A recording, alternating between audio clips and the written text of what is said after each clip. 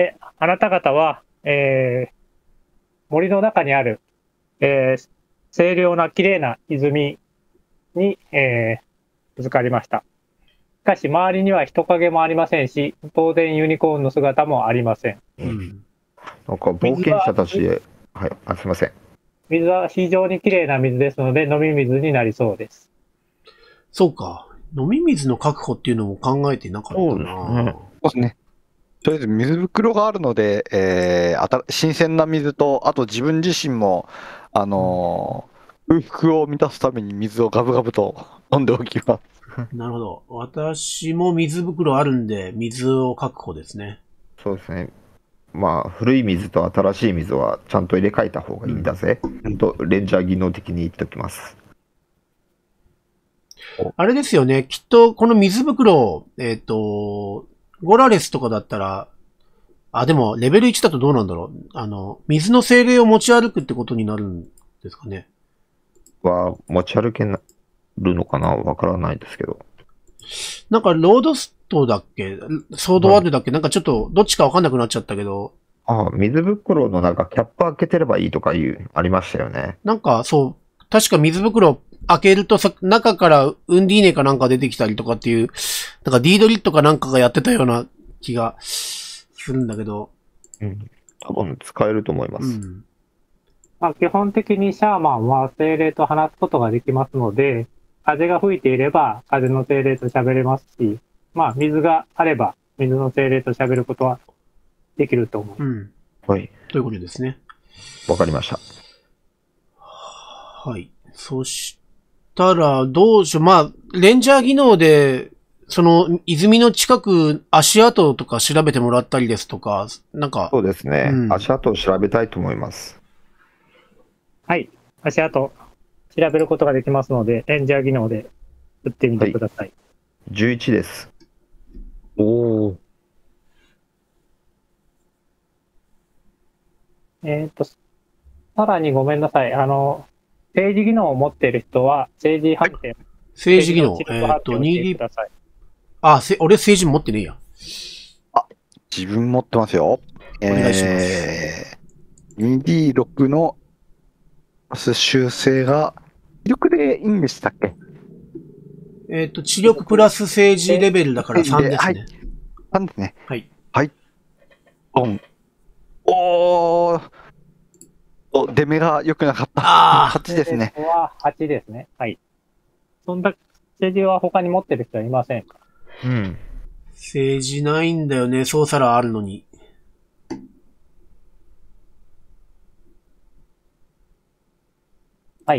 じゃあ、セレドは特に何もわかります。ゴラレスは、なんか、えー、まあ、馬っぽい足馬っぽい。跡を見つけます。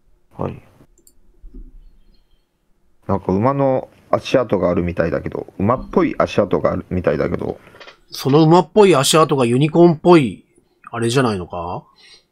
なるほど。まあ、角の生えた馬だからね。うん。そうすると、ここを水場にしてる可能性があるな。えーでも、もしただの馬の足跡だったら、馬ってこの森に住んでるのかな？ね、そこだよね。ね、野生の馬ってね。野生馬。あるいは誰か冒険者が馬連れてきたとか、馬で乗ってきたとか。まあ、森の中で騎乗森の中だからね、馬を使ってっていうのは、ああ、そっか。うん。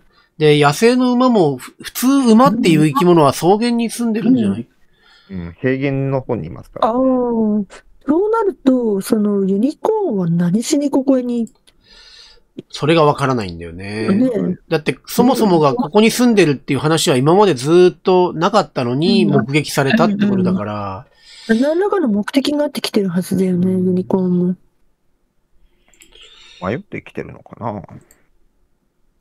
すいません。足跡はごめんなさいね。馬の足跡は、えー、じいさんの言った通りに南東の方に向かっているように見えます。なるほど。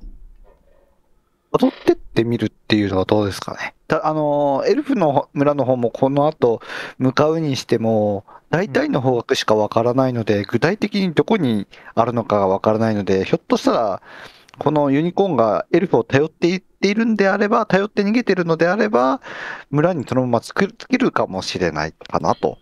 この、ねじゃあ移動ルートは、基本的にまあたど、たどれるのであれば、その馬っぽい足跡をたどって移動していく。なまあ南東に向かって移動していくと。うんマス目で言うと、右下のマスに行くような感じですかね。そうですね。ここから、なん、右斜め下に行くイメージですね。はい。じゃあ、右斜め下に進みましょうでいいですかね。今、どなたかいらっしゃいますか？戻ってきてます。なんか、どう、どういうふうに進もうかなと思って、悩んでるんですけど。久しぶりのセッションで。はい。ああ、ぼ自分も全然経験が浅いので、僕ね、あのー戸惑ってるんですけども。これもうレンジャー命なんで、ですね。マップだと。あのーほとんど、結構森を舞台にしているシーンがすごく、えー大きいので、うん。あの結構レンジャー、森の中で活かせるスキルが結構肝になってくるはいシナリオなかに感じましたね。私、あと思ったんですけど、セレドさんって、一般市民出身じゃないですか。はい。一般技能って何を取ってらっしゃったんですか？一般技能、一般技能、一般技能、戻りました。あお疲れ様です。はいじゃないですね。オーエンシェントとファイターセージっていうだけしか、一般技能って、また、それとは別に取れるんでしたっけ？技能ってあれですよね。なんかあの、冒険者とは関係ない技能のことですよね。そうです。そうなん3レベル取れるんですよね。あ、そうなんですね。どうしようかな。なんか、ちょっと、取っといた方がいいですよね。まあ、役立つのはマーチャントとか、ハンターとか、おっとなんかルールブックにありましたけど、えーと、えーと、ワン、ワンスキル、何ページかかな。まあ、えーどういうと家で生まれたのかにも結構よると思うんですけど。それあれ？なんか、生まれってやつは、キャラメイクの時に、うん。キャあれ、どそうですね。一どうしたの？般市民で、生まれたんで、はい。であれば、なんか選べるんだっけかな？選べるんですよね。うーん。で、えー3レベルぐらいまで持てるんですよ。技能、技能、43。43ページ ?43? 技能、と、技能。マーチャント、ファーマー、フィッシャー、セイラー。なるほど。えーっと、ドワーフならクラフトマンをレベル5でいつも持っています。あ、ドワーフはそうですよね。ああ、そっか。自分の場合どうしようかな。う。んあれこれ一覧表的なもの、あ、して、ここに書いてあるのか。45ページの一般技能って書いてあるのこね。まあ、完全にこのルールブックに載ってなくてもこういう技能を持ってるんだって、あの、うん自分オリジナルでもまあ別に構わないわけだよね、確そうか。なんですね。うん。ね、できるらしいですけど、まあ、乗のってた方がのんべ、ワイン好き技能とか。あそうですねソムリエとか。ですか？あ、ソムリエ。すね、いいですね。これいいですね。うんソムソムリエレベル3。はいあ、ワインソムリエですか、そうするとあれだよね。なんか鼻が効くとかそういうのになんか使えそうな感じしますね。そうですね。あと、毒混ぜられてると気がつくみたいなね。あと、そんな感じ。例えば、ワインの価格がわかるとか、いいですね。そのワインはいいワインだみたいな。そうだなぁどうしようかな。これは技能の欄に書けばいいんでしょうか？そうですね。じゃあ、ちょっと一マス開けて、えー、34ページ、完全版。無理へ。使われるのはマーチャント、クラフトマン、ヒーラー、ハンター、で、セーラーが公開ですね。うん。これがあたりが公開されてるやつですね。がよく、まあ、役に立つ技能とされてますけど。うーんハンター技能なんか、ここでは無敵ですよ。このクエストでは。3レベルもあったら、ハンターすごいですね。えー、ほぼレンジャーとですもん、これ。これ、あれだな、リナ、プリンセスよかったな。いいねまあでも、いい一般の家の娘のはずだけど。あれ、うんラーダの家に生まれたんじゃなかったでしたっけ？ん？なんすか？リナさんは。あ、ラーダ、ラーダの家といえば、そそうそうあラそう。ラーダの出自で、そう。家実が、際の出自ですよね。そうですね。293。まあでも、193ページね。何が得意にしようかな。俺は、あれだな。まあ、この中には、冒険の役に立たないかもしれないけど、絵が得意ってことにしようかな。ああだから誰かの似顔絵を描くことができるだとか。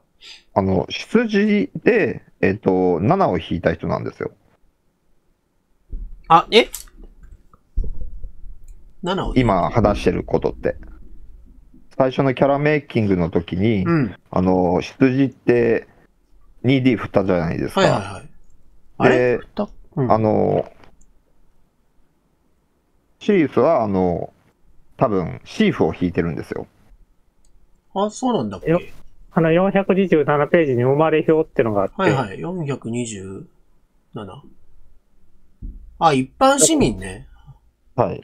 で、これで7の一般市民を引いた人が、あの、一般技能3レベル持てるんですよ。あー、そっか。俺、シーフだったっけ？そっか。気がつかなかった。うん。な了解です。で、えっと、おそらくセレドさんって一般市民を引いたんじゃないのっていう質問です。そういう話だったんですね。うん。それで、そのす一般技能は何にしたんですか？っていう質問です。いません、そのあたりちょっと僕気がついてなかったです。うんえーっとですね。まあ今からワインソムリエでしょ3レベルを持ってもらってもいいですよ。ん？な、な、ソムリエでしょ？今なんて言いました、今からソムリエ3レベルを持ってもらってもいいです。あ、別に、別にソムリエじゃなくてもいいんですけど。はい。ソムリエと、あとな、あと一般技能か。一般技能。マーチャント、クラフトマン。でも、人気的にはクラフトマンなのか今までの経歴がどういう人物だったのかっていうところをイメージしてもらえば。あの、クラフトマン、過去ワインでもいいですけどね。な。いいですね、ワインクラフト。あ、まあ、お酒とか、うん。クラフトマン、過去お酒とか。手動、手動クラフト。うん。そうですね。確かにそれはありですね。ただ、これって錬金術師ではないので、あの、作るのにすごい時間かかるんですよね。おー確かに、うん。熟成、そう、ハガレンみたいに、あの、手をパンってやるだけで できる。食うわけじゃないですからね。あ、密造酒作れるのか。紙酒とか作れるんじゃないですか。ああ。酒造、お何がいいですかね。まあ材料と設備があればできるんでしょうね。うん今は多分、材料や設備がなさそうですけど。そうですね。まあ、ねでは、まあ、次回までに考えておくって感じですか。ね。あと、一つなんか、良さげなものを。ノンファーマーでもいいのかなあファーマーで、あの、ブドウを作るタイプのあファーマー。なんか、お貴族、貴族、貴族臭さを出すめんどくさい感じの性格でもあるんで、うん。ファーマーで。はい。あ、お待たせしました。はい。えー、こんな感じかな。ぶどう。ぶどうじゃないやうん。えー。ん失礼しました。じゃあとりあえず、クエストに戻りますか？そうですね。よろしくお願いします。よろしくお願いします。はい。はい。では、今、えー泉の位置にいるわけですが、こで、えーっと、今は、朝6時頃に出発して、4時間経ってるので、10時ぐらいですね。10朝10時ぐらいで、えー南東にこれからもっぺん向かうという理解でいいですかね。そうですね。またレ、そう、そうですね。レンジャー技能の、はい。もう一度レンジャーの技能の方向技能を、あ、1ゾロが出ちゃいました。おっと。おっと。では、あ何か。はい。経験点10点ゲットですね。そうですね。経験で10点を上げよう。では、懐かしいな、なんか。うん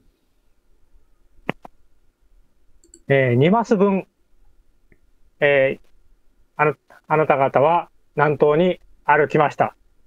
ところが、2マス分歩いて夜になったにもかかわらず、先ほどの泉にまた戻ってきてしまいました。なんと。おお。おかしいですね。南東に行ったはずなのに、またその南東の先にさっき、さっき見たのと全く同じ泉があります。おかしいぞ。ゴラレス、これどういうこと？泉が2つあったのかもしれない。うん。それともと、りあえず、新手のスタンド使いかもしれないス。タンド使い？もう、う馬の足跡はまだ、泉の周りにはある？ありますね。はい。あ、あーまた、もう一度、もう一度辿ってみようか。あ、でももう夜なのかな？そうですね。ちょっと、実はもう2マス分ぐらい歩いちゃったので、もう夜の、えやべえ。うん。とち。ょうど日没した頃ですね。夕方ですね。さすがにあの夜、足跡追跡というのは難しいから、うんああ、確かに。明るくなってから行った方がいいと思う。結局のところ、その足跡を辿っていたら、ぐるっと回って泉に戻ってきたってことだよね、これ。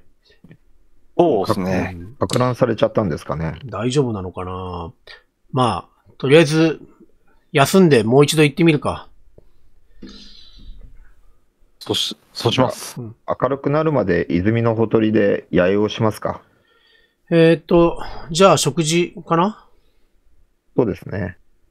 えっ、と、食事、食料は、その道すがら、ですが食事だったので、そこは、あの、ハンハンターじゃない、レンジャー技能を使っていいです。わかりました。やった9です。じゃあ、今回は、えー、5人分の5食分ですね。5食分を手に入れることができました。はい。じゃあ、とりあえずと4食。は、なんとか。はい。よかった。さっき俺一人で保存食食ったから、あれだ、余ったやつは、ね私が一つもらっていいかな。はい。はい。えーっと、はいじゃあ食料1ということで、はい。さあ、じゃあまた休休憩するのをも、えーっと、あれかな？えーっと、交代で。そうですね。はい。で、参りましょう。じゃあ、えー、上から順番に。先ほどと同じように8時間を2時間ずつ交代交代でするようにします。はい。で、交代する、あ、ごめんなさい。見張りの人が 2D6 を振ってください。はい。では私から振りますね。8です。8は何も起こりません。はい。次は私です。いけ !4。4何も起こりません。あ、おーちょっとヒヤッとした。ヒヤッとしますね。結構ハラハラしますね。リナさんですね。ん？シリウスかな？え、えーっと、次セレダさん。じゃあ、えっ、ー、と、2D6。あ、セロです。おい、やばい。なんか、1D6 を振ってください。なんかやばいかん。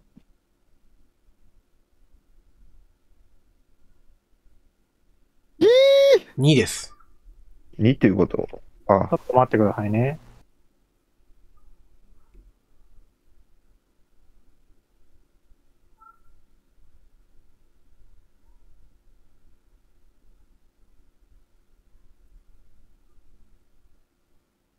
えー、では、ええっと、今誰が見張りでしたっけ？セレドさんですね。セレドさんですね。そうですね。セレドさんが、えー見張りをしてる間に、えーちょっと離れたところから、うんガサゴソ何か音がしています。な、複数の、なんか足、何かが動く音がしています。他のメンバー全員寝てますからね。ね。かーって。なんとなく、えー足音と、まあ、喋り声のような気がしますが、ちょっと離れていてよくわかりません。うーん、どうしようか、ここは仲間を起こすべきか、やり過ごすべきか。仲間を起こしておきます。全員を。はい、全員起きました。はい。はいん。どうしたんだい？とりあえずその子の茂みから、数人の足音と話し声がして、それで、起こしたというわけだ。で、そうですね。その、まあ、申し訳ないけれども、それがまあ見張りってもんだからな。ゴラレスに確認してもらおうか。そうですね。うん。とりあえず、セレドはいつでも何か対応できるように剣を抜いておきます。ホラスさんなんかしますか？えっと、まず、そっちの方向を見て、あの、怪しい光じゃないかどうか、あの、アンデッドの光とかじゃないかどうかは確認します。凝視します。はい。えーっと、まあ人間型の姿うん。で、えー、4人ほどいるように思えます。4人か。さっきの、あれじゃないの？なんかん、人影、迂回してったじゃないですか。あのうんパーティーかもしれない。ああ、その可能性あるな。あの冒険者パーティーだうんな。こっちに近づいてきますか？そうですね。こっち側に来ているようです。うん。ということは、ちょっと気づかれている可能性が高いな。あの、二つ選択肢があって、この場に留まることと、この場から、あのー逃げるっていう、逃げるというか離れると二択あると思うんですけど、皆さんはどっちを、選択しますか？私はできる限り逃げた方がいいと思います。そうだね。あうん戦闘になったらめんどくさそうだ。うんうん。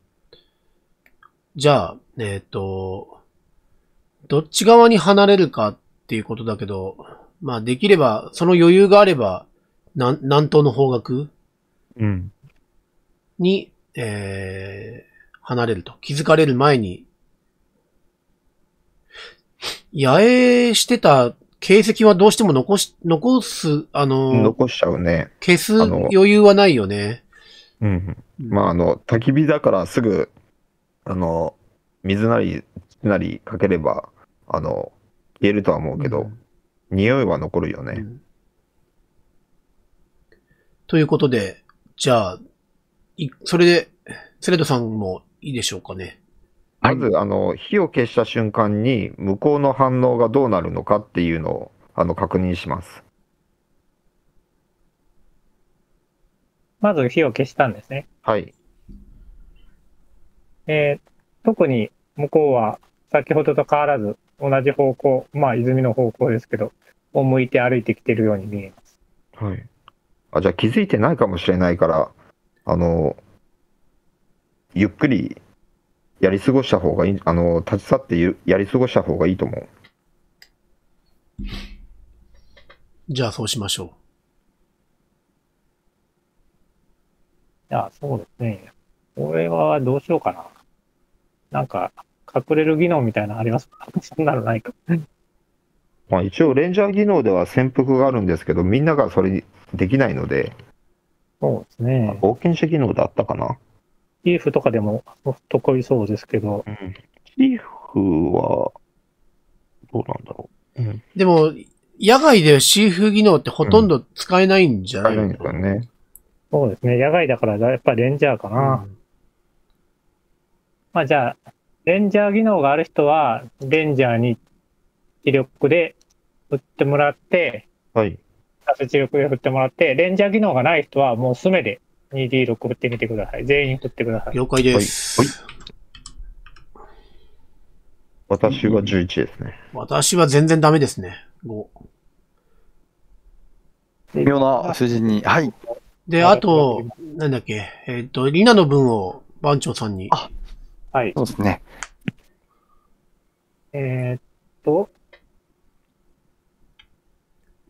リウスが5以外はみんな8以上ですね。そうですね。ティリウスが、えー少しちょっと音を立ててしまいました。やべ パキッ、パキッどうなりましたか、えー彼らは、なんか音が来たのを気づいたのでしょうか？ちょっとこっち側に方向を変えて近づいていきます。近づいてくんのか？イケイケだな。もうここから離れた方がいいと思うんですけど。まあ、そうですね。なるべく向かってくるのから離れるような形で。うん。うん。反対の方向に逃げたいです。えーっと、彼らは南側から来ていますが、北の方向に逃げるということでいいですか？それだ、あ、南東の方にい移動するのはどうだろじゃあそうしよじゃあ南の方から来てたんだ。う。あれ、まあさっきの冒険者、北からい北にいたよね。違う冒険者かもしれない。う。うん、違うかもしれない。うん。迂回してきたのかもしれないですね。では、えーっと、もう一回先ほどと同じレンジャー技能で打ってみてください。はい。レンジャー技能もしくは進めですね。私は13ですね。あ、全員ですね。えーっと。私は8。よいしょ。あっち。リナ様。おお今回は、えー全員、なんとかうまくやり過ごしたようです。なんとか彼らはい泉の方に、ああなた方が先ほどいた、えーあたりをなんか探し回っているようですが、あなた方が今いるところには気づきませんでした。よし。まあ、滝ぎ、滝際残しちゃったからな。まあ誰かいたのは。いいおとりになったかも。うんうん。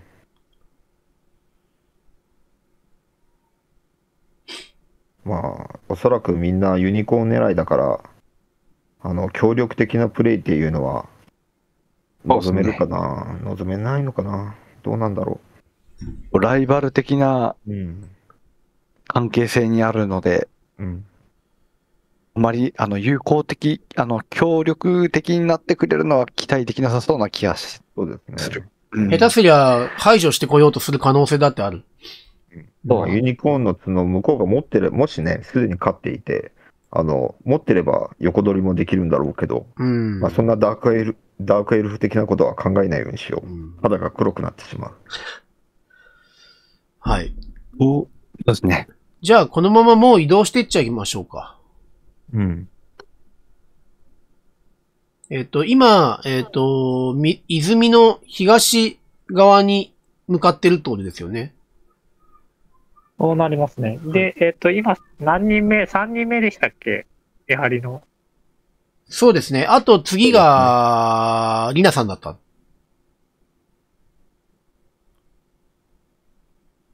誰の番でしたっけ？あの、えー寝てる間の見張りの番の、はいでしたっけ？はい。えっと、僕の時に、えっと、ロールで、えー、セレダさんが起こしたんだから、セレダさんが見張りをしてた時。うんそうそうそう、そうですね。で、次となると、リナさんですね。そうです。えーで、皆さんは一旦起きてしまいましたが、もう一回ここで八重をするということですか？それとも、もう東にこのまま起きてむ向かうということですか？あ、起きて進んだ方がいいんじゃないですかね。うーん、ちょっと距離は取った方が、うん。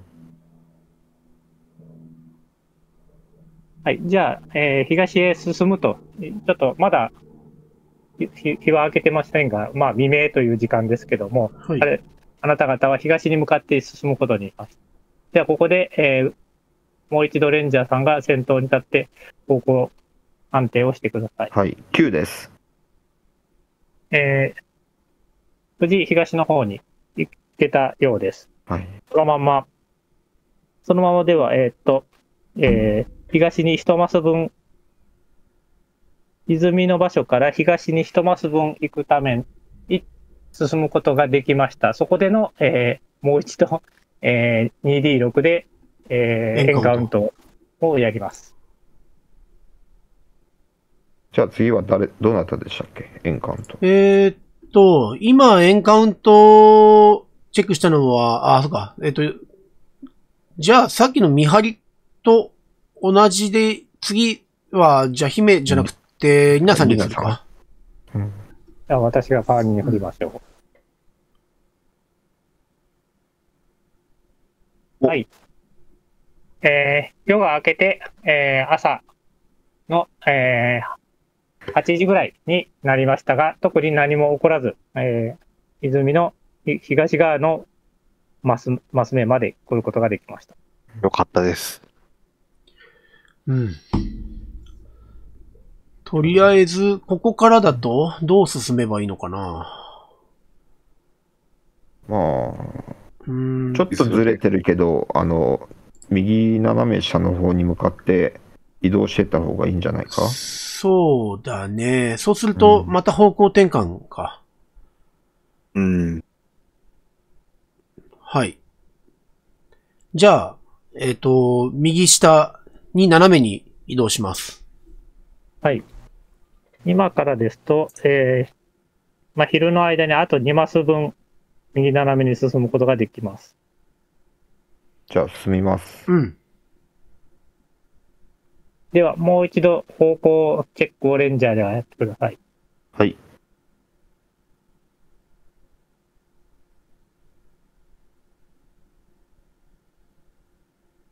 9です。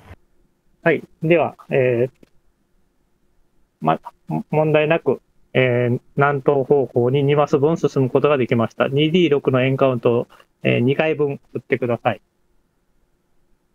次は、じゃあ、エンカウントは私でいいのかな？はい。えーっと。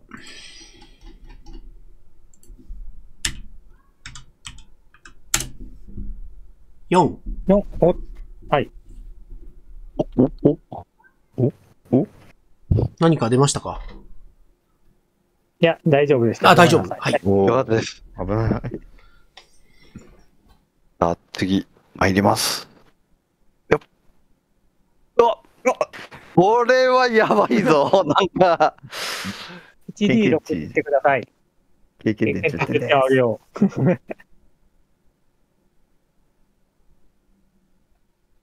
三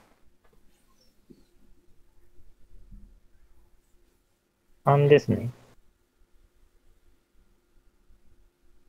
えー向こうの方から2人の、えー少少年は言い過ぎかな。青年と少女が、2人組の青年と少女が歩いてくるのが見えます。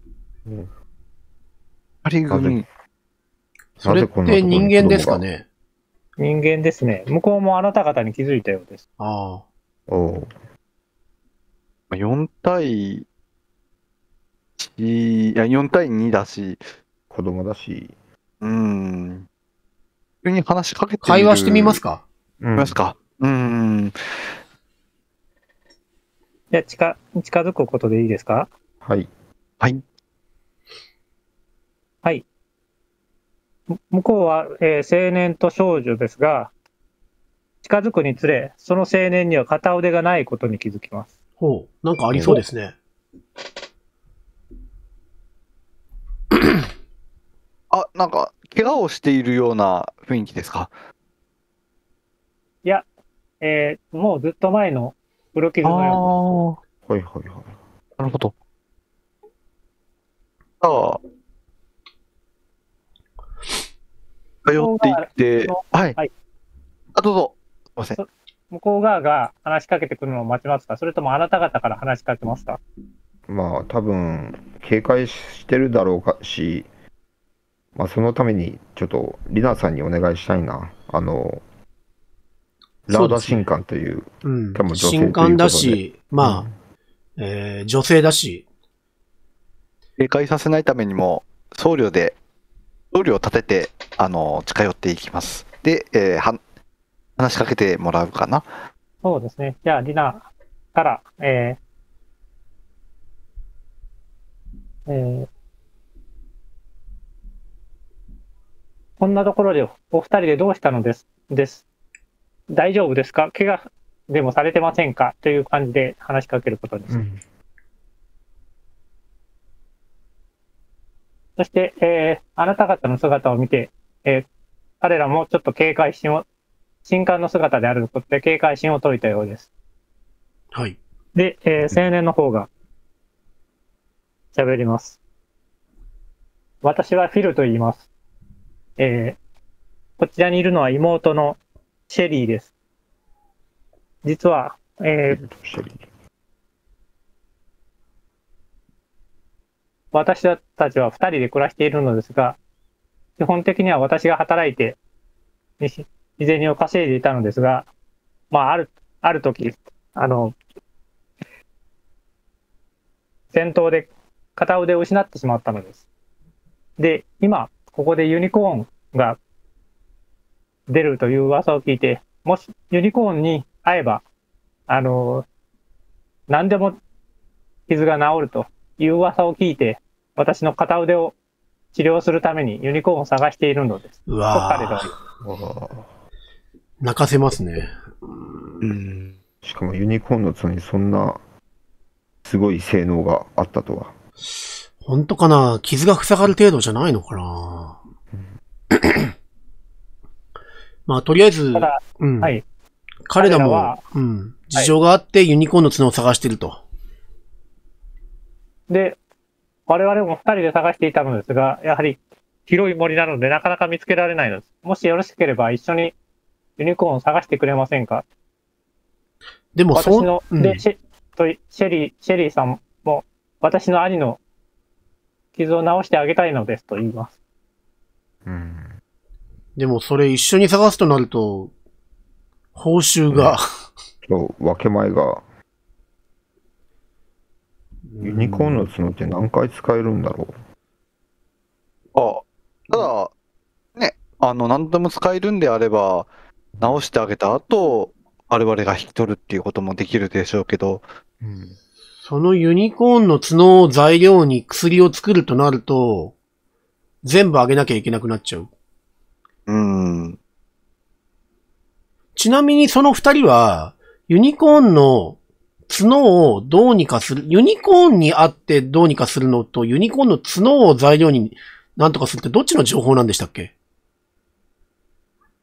私たちが聞いているのは、ユニコーンの角があらゆる病気や怪我を治す魔力があると聞いています。そそのユニコーンの角があれば、その魔力を使って片腕を治すことができると思うんです。ただ、ユニコーンの角の魔力には限りがあると聞いてますから、これを治せばもう魔力は失ってしまうという噂も聞いたことがあります。だし、だよね。何回でも使えるってわけじゃないだろうし。ただし、今の話し方だと1回だけじゃなさそうだね。魔力がも、うん持つ限りってこと？うん。うーんあ、抜かせる話じゃないか。そこは任せるよ。うん。でも申し訳ありません。私たちは冒険者に払えるようなお金を一切持っていないのです。何の得にもならない話だよね、これ。うん。まあ、俺的にはシーフ、シーフだし、うん。あの、メリットのない話だなっていうふうに思っちゃいますね。うん。しかも、そのユニコーンの角を、その腕を生やすことに使っちゃったら、えっ、と、なんだっけ、えっ、と、マッドサイエンティストだっけ？マッドアルケミスト、グラントの依頼が達成できなくなっちゃうかもしれない。5万ギル、5万ガメル。うん。だから、俺は、まあ、みんなの意見にを尊重するけど、俺は反対だなっていうスタンスです。うん。ペレドニオは、君たちこの兄来の愛がわからないのかいって言いながらも、シリウスに金貨10枚借金してるので何も言えないです。うーん。リナは多分助けたいと思うだろうね。うん。いい人ですからね。そうですか、そうですよね。うん。まあ、エルフ的には関わらない方がいいなとは思ってる。うん。そうですね。まあ、多数決で言ったら、か関わらない。いいですね。関わらない。助けだと関わらないになりますね。うん積極的に助けてあげたいと思うのは多分リナだけですよね。う。うんんで、シリセレドさんあも、セレドさんは内心、その、ま助けたい。あ、助けたい。お金、お金が、ちょっと立場的にちょっとうん言えないっていう状態に。食い物も恵める借金仲間に恵んでもらってる状況ですからね。うん、街に戻ったら、明日を生きれないっていう。うん若者たちよ、これが大人の事情ってやつなんだよ。うん、悪いんだけどって感じかな。うん悲しいけど、これ競争なのよね。うん、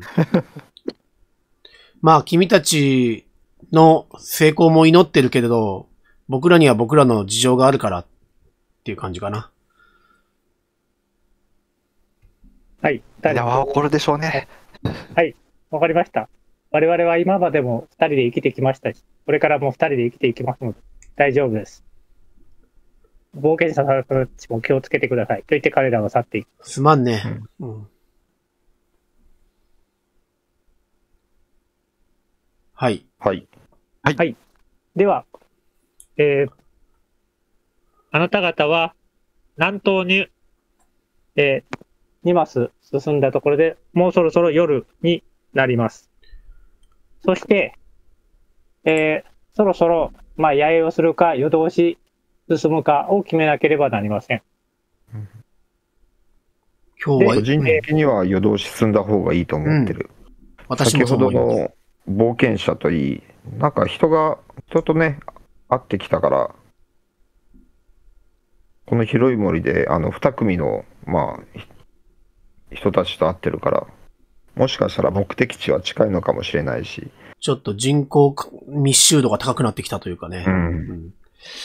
うん何か消耗してるわけでもないですしね。うん。じゃあ、そのまま行きましょうか。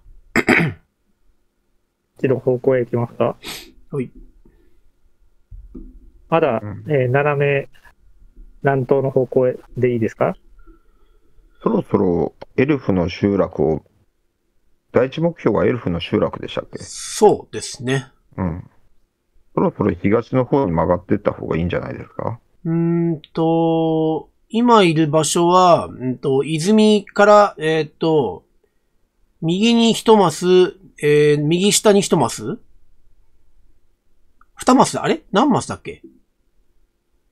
右へ一マス行ってから、右下に二マス。二マスか。右下うんここか。そうですね。まあ、このまま右斜め下までい、あのー行って、そのま、そこで、えっと、端まで行ってから東に行くっていうルートでもいいし、うん。こ確かこ、湖のほとりじゃないんですよね。ほとりの近くなんですよね。うんと、そうですね。えっと、エルフの、そっか、ほとりからちょっと北側って言ってたから、そっか。うん。そうすると、うーんと、確かに今いる場所から、うんと、まっすぐ東に行った方がいいか。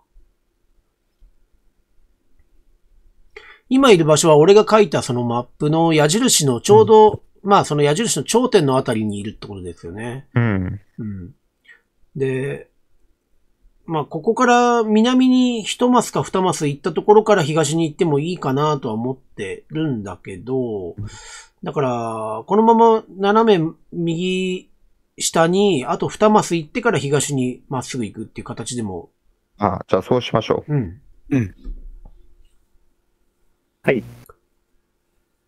では、えーっと、そうですね、もう、方向変えてないから、方向判定はいいか。うん。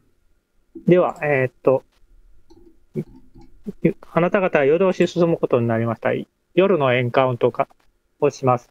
えー 2D6 をまず、トマス分振ってください。えーっと、前、次は、リーナさんかな？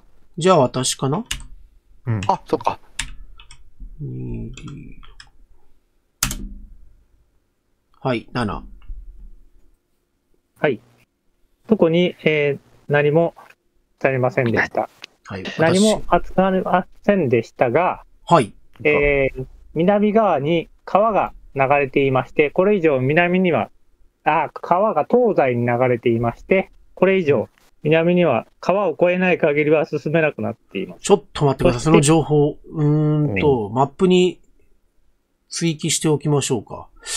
えっ、と、今いる場所が矢印の、えー先っちょの右下のところで、この下側には、えっ、と、川がは挟んで、えっ、と、まあ、その川を越えないといけないようになってると。東西に川が流れていて、えーか川を越えない限りは南は進めません。ここでちょっとレンジャーさん足跡チェックをしてください。おっと、はい。あ、ほ15です。目がいい。お素晴らしい。では、えー馬の足跡は川沿いに東に向かって進んでいます。うん。おじゃあ合ってるんだや。はり、うん。川沿いに集落とか村っていうのはできるものだから、辿っていくのもいいかもしれないね。うん。うん。そうだね。このまま川沿いに、あのまあ、ユニコーン。はい。このまま川沿いに行くことを進言するな。はい。じゃあ、さ、うん、あのーこのまま足跡にも中、まあ気をつけつつ、えー東に進んでいきましょうか。もうじゃあ、すでにもう川がありますので、方向を迷うことはありません。じゃあ、えーっと、あと1回だけ、夜な夜明けまでに1回だけ分だけ行軍できますので、エンカウントの 2D6 を振ってください。はい。じゃあ、セレドさんですね。EB、9。大丈夫かな？特に何も起こらず夜明けを迎えました。よかった。それで無事夜が明けた感じですね。うん。では日中もまた、あれですかね、狩りをしながら行軍、そうですね。東に向かって行軍ですかね、川沿いに。ですね。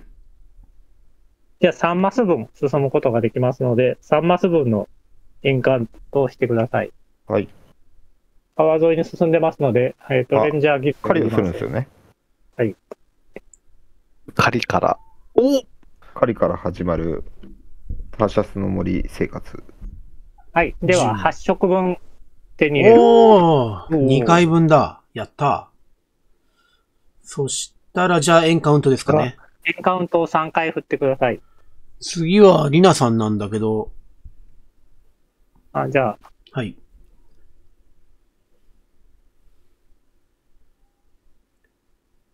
8。8は何も起きません。はい。はい。では、私か。2D6。はい。何も起きません。6も何も起きません。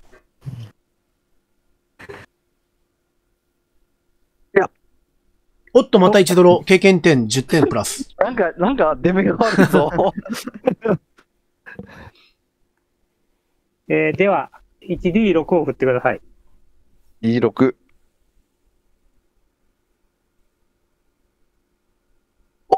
お、では、どうもおめでとうございます。1D10 を振ってください。あーっと、敵でえす、かね。なんか、あまりいいことじゃない。1G、10。うわ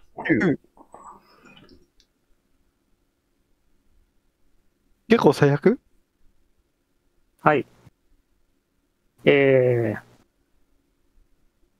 あなた方は森をかき分けて進んでいきましたが、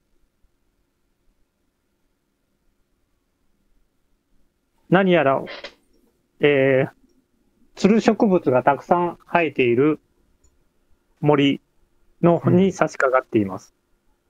で、あなた方がそのつる植物を組み分けて進んでいくとですね、なんとそのつる植物があなた方の体の方に絡みついてきました。食虫植、いやいや、うん。食人植物か。中植物だね。うちらもレンジャーと政治の人は、えー、レンジャー技能プラス知力、あるいは政治技能プラス知力を、で振ってみてください。ああの、植物判定か。えーと私は13です。えー、2D6、2D6。ボーナスが入るからこれか。よいしょ。9。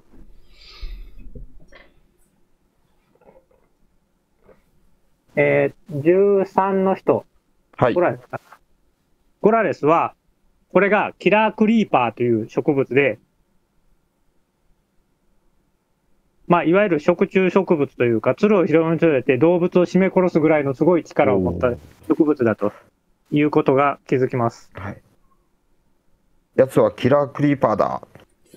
え、この中に足跡も続いてるの？ということは、いや、少し川から、川、川ぞ、本当に川のほとりに足跡は続いてまして、うん。キラークリーパーが入ってるのは川よりもうちょっと森側なるほど。ね。ああ、避けて通ることはもうできないのかな？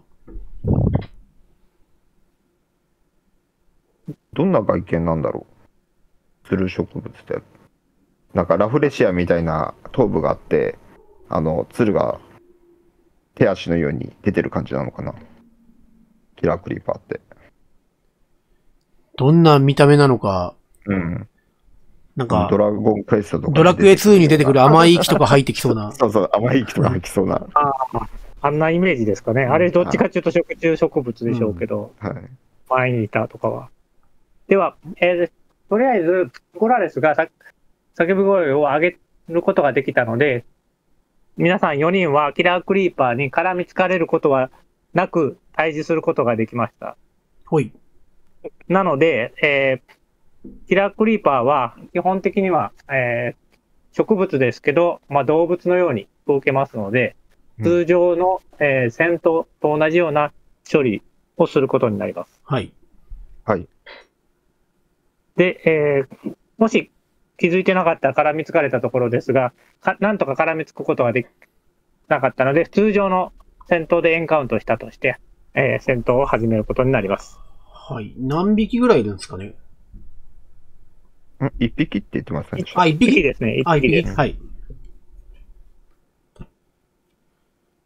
じゃあまあ、私はまあ、普段はソーソーサラーとして、えーっと、なんだ、杖を持っておおるはずなので、まあ、ちょっと下がるかな、私は。明治スタッフをも握りしめて。まあ、作戦通り、セレドさんがタンクやってもらって、そうです攻ね。撃を全部引き出てもらった方がいいかな。今、誰も、えー、絡め取られてない状態ですか？それともゴラレスさんは絡め絡められてる状態ですか？全員、あの、絡みつかれる前に気づきましたのであ、うんよかったよはいかった。よかった。ゴラレスさんのおかげで。はい。もしゴラレスさんが気づかなかったら絡み取られてました。おー、危ないところでした。危なかった。危なかった。じゃあ、通常戦闘って言うんで、動きはセレドさんからですかね。臨床道でお願いします。お願いします。相手の敏衝度っていくつなんですか？手の臨床度は5ですね。?5。じゃあ、我々4人ともフルボッコにできるという形ですね。なるほど。えーっと、そうなると、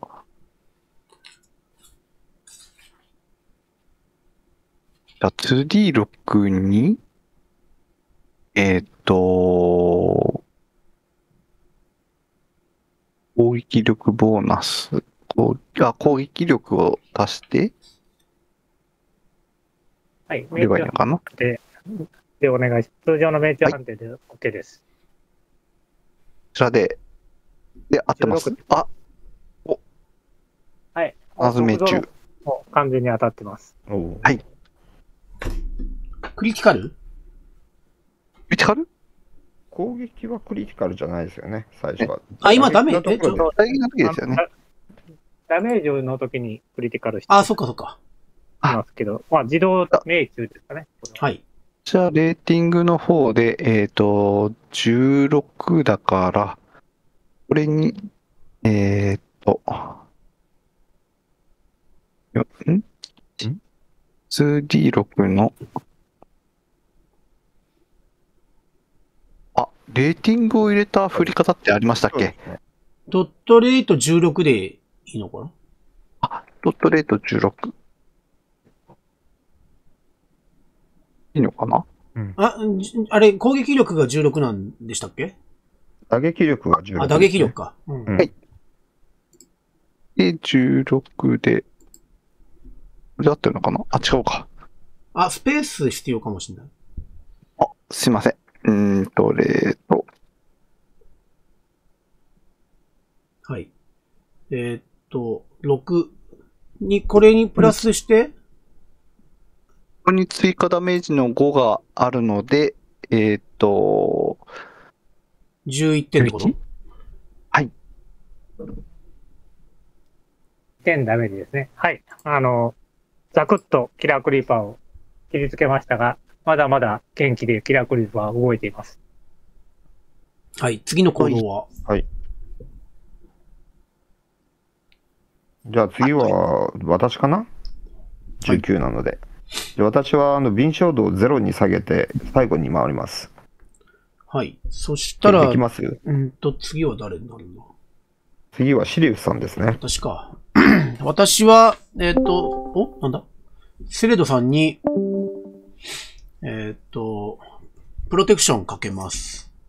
おえーお願い。ありがたい、ありがたいですね。はい。そしたら、えーっと、2D6、9だから、まあ、失敗はしてないということで、えーっと、精神点3消費して、えーっと、セレドさんはダメージを食らっても、ダメージを1点減らすことができると。ありがたいです。はい、えー、精神点3減らす。うーんと、11。なんですかね。1ゾロ分働かないと、ひなさんは面目が当たらないので、割と戦える方だから、ベースで戦った方がいいのかな。そうですね。リナさんは前衛ですからね。メイス強いですからね。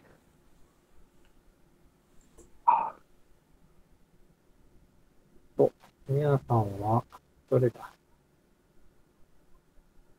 ?2D6 プラス、これ4でいいのか？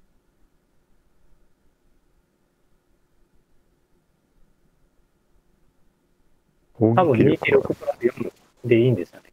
そうですね。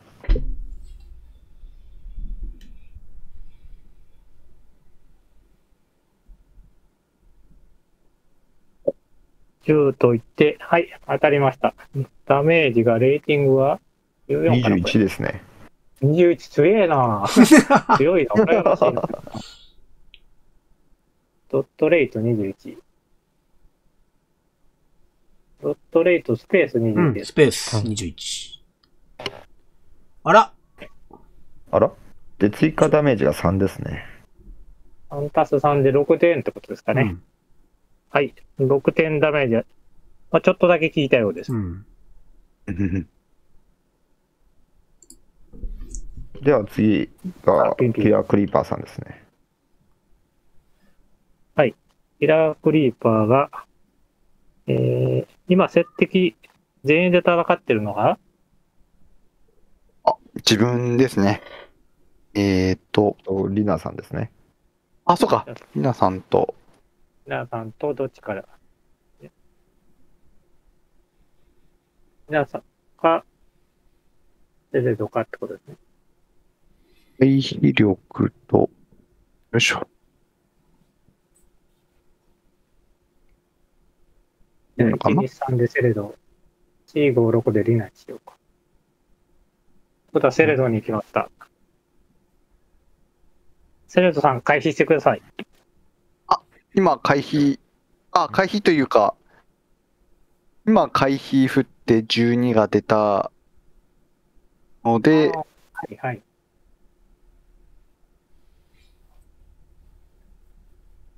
で、えっ、と、はい。はい。じゃあ、回避できてます。はい。はい。じゃあ、鶴、鶴の、鶴で、が当たってきましたけども、しっかりか、避けました。はい。なので、えー、キラークリーパーの攻撃が終了です。はい。では最後、敏捷度ゼロの私が動きます。はい。ファイアボルトを使います。はい。13と言ってファイアボルトを打ちます。当たっています。じゃあ、レート10で。はい。えー、そこですけれども、実はキラークリーパーは炎に弱いので、えー、ファイヤー、おファイヤーの魔法は打撃力をプラス10でやってください。はい。わかりました。これ炎の精霊的には別に問題ないのかな？えー、ど、ど、どういう意味ですか？あ、炎、これ、えっと、炎の精霊とかがいなくても使える魔法なんでしたっけ？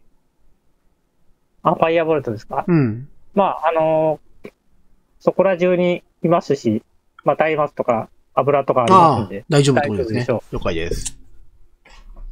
えっ、と、5、5が出たので、あ、いやお、えっと、レートはプラスとか使えないんで、使えないんですね。うん。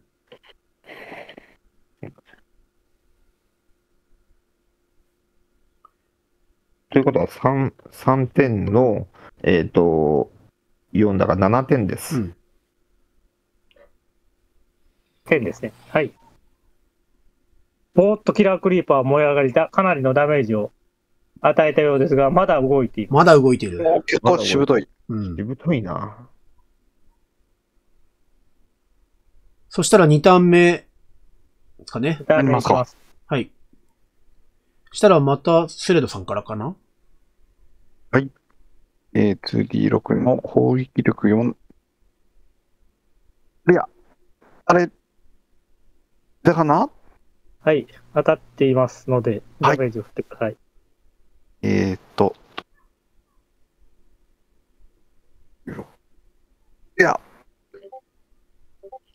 これ6。に追加ダメージなので 11? さっきと同じかな？そうですね。あ、そうですね。うんあと1点あればクリティカルだったんだけど。ああ、惜しかったです。ダメージが入りました。まだ、だいぶ弱ってきていますが、まだ動いています。まだ動いてる。おー、しぶとい。次はゴラです。あそうですね。じゃあ、私がとどめもらっちゃいますね。同じファイアボルトを押します。はい。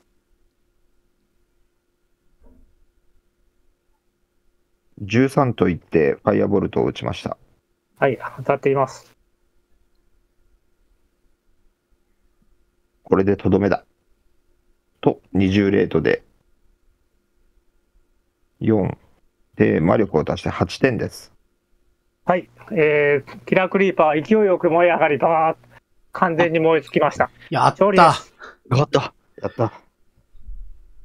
めちゃめちゃ今回のシナリオゴラレスが大活躍してますけどね。大活躍。うん あの、特に食料周りが、食料周りとあの魔法周りが、ねしかも方向もゴラレスがいなかったら方向も定まらないし。うん。まあ一回失敗しましたけどね。一 まあねしましたけど、経験点いただきました。はい。あえっと、あれ？さっきの歩いてる途中の、あ一ドロは経験点になんか起きる法則ってありましたっけ？ん？他になんか一ドロ、1ゾロが出たら経験点プラス10っていう、あの、あれって、ロードストーの3かなんかのやつだっけ？ちょうどそのリプレイのやつで、別に公式にはどこにも書いてはないルール。いそれは、そういうネタ、あの、コンプティークで連載してた時の、あの、10点あげますよ、全然。そうなんですかなんかあの、何でしたっけ？えっ、とエン、エンカウントのなんか判定の時に出たのも、そういうのカウントされるのかなと思って。な、なんでも1ゾロが出たらプラス10点っていうネタになってるんですよね。ああ、そうね。あ、ね、ねあネタで、あの、この、こののシステムでっていうことではないんですね。いや、でも、それでもいいよっていう話ですよね。ああ、そうなんですね。であ、10点あげますっていう話だったので、そのルールでやってるので、ネタとしてやってるので、全然み皆さん、あの、1ドルを振るために 10, 10点もらっていいです。ありがとうございます。確か何回か出てた。何回かってひどい言い方だけど。確か、何回か出てた少なくとも2回は1ドル出してると思います。出てますよねうんなんかあの、冒険者がそのたんびに出てきてたので、確か。そうですね。俺、俺が、あの、経験点10点プラスって、その都度に言って、言ってたはずなんで。あうんはいありがとうございます。1回でした。はい。で、えーっと、ちょっとそろそろ私の方のお時間がやってまいりまして、あちょうどよかったですね。ねちょう。ど戦闘が終わったところでって感じですかね。はい。はい。えー一応念のために言っておきますが、キラークリーパーは植物ですので、何もアイテムは持っていません。はい。あ食えるかなと思ったんだけどね、消し済みになっちゃってるよね。まあ、もしかしたら何か冒険者の何かを盗んでいたかもしれませんが、完全に燃え尽きてしまいました。なるほど。うん えーっと、あれ？た、倒したことによってもらえるものって、経験点は最後の最後にもらえるんでしたっけ？最後にそうラジオ脱散したのもらえるって聞きました。はい了解です。じゃあ、えーっと、場所は、うーんと、川、川があったって言ったところから東に一歩行ったところですね。川沿いに一マス来たとこじゃなかったでしたっけ？そうですね。はい。ということは、うーんと、セーブポイントはここ。えーっと、じゃあ、ここにマークつけとこうかな。セーブポイント。よいしょ。指セーブ。お、広大ですね。よいしょと。マップは広大だわ。広大だわ。そうですねうんよいしょはい。ということでと、ちょっと待ってね。えーっと。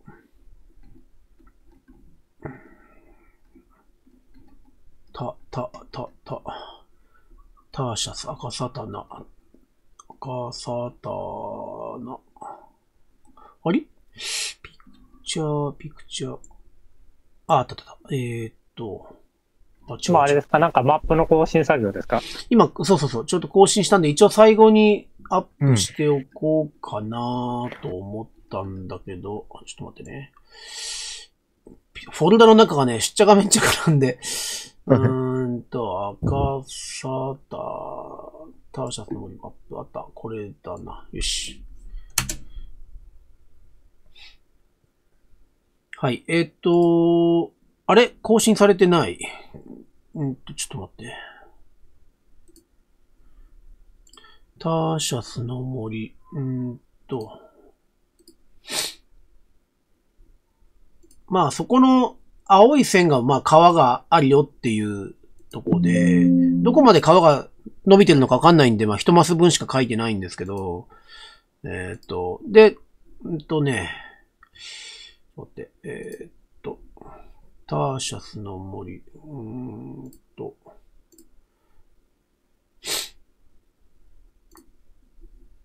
川に当たってから東へ少し進んでいるので、そのあたりですね、はいセーブポイントは。一応、まあ、今、アップし直しましたけど、えっ、と、米印ついてるところが、まあ、現在地点かなといったところなんですけど。あ、青点ですね。はい。はい。じゃあ、次回はそこからスタートということですね。よろしくお願いします。はいよろしくお願いいやしまー、なかなか広くて、なかなか進まなくて。大変。まあでも戦闘が、エンカウントがね、それほどなかったから、これで毎回のようにエンカウントしてたらね、全全然進まなかったと思うんですけど、まあ、あまりエンカウントしてなかったんで、まあそこそこ進んでくれたのかなと。ゴラレスさんのあのー誘導が、もうそのおかげですごい進めたイメージがありますね。そうだよね。毎回ゴラレス君があの道間違えまくってたら大変なことになってたからね。す。そうですよね。ダイス目良かったですね。はい。そう、もうなんか初めっからなんか、あのーゴラレス君の台数がね、台数が良くて、うん。まあ、ちょっと今回セレドさんの台数が、なんか微妙に、ひどかったですね。こっちの方が面白いじゃないですか。はいまあそこが面白いよね。うん。はいい。や、本当あのー道間違えなかったのと、本当食料がつながったおかげで、ああ、それもあったよね。食料もはい結構たくさん取ってくれて助かりましたね。はい。うん。っていうの生命線を両方握ってるというゴラレス一人で。すごい状況ですね。次回は、エルフの集落にたどり着けて、まあ、何らかの、まあ、新しい展開があるんじゃないかとこれがいいねって。期待できますね。はい。じゃあ、今日はありがとうございました。ありがとうございました。はーい。お疲れ様でゲームす。マスターのトレカ番長さんもありがとうございました。ありがとうございました。ありがとうございました。またです。ありがとうございました。はーい。はい。失礼します失礼します。失礼します。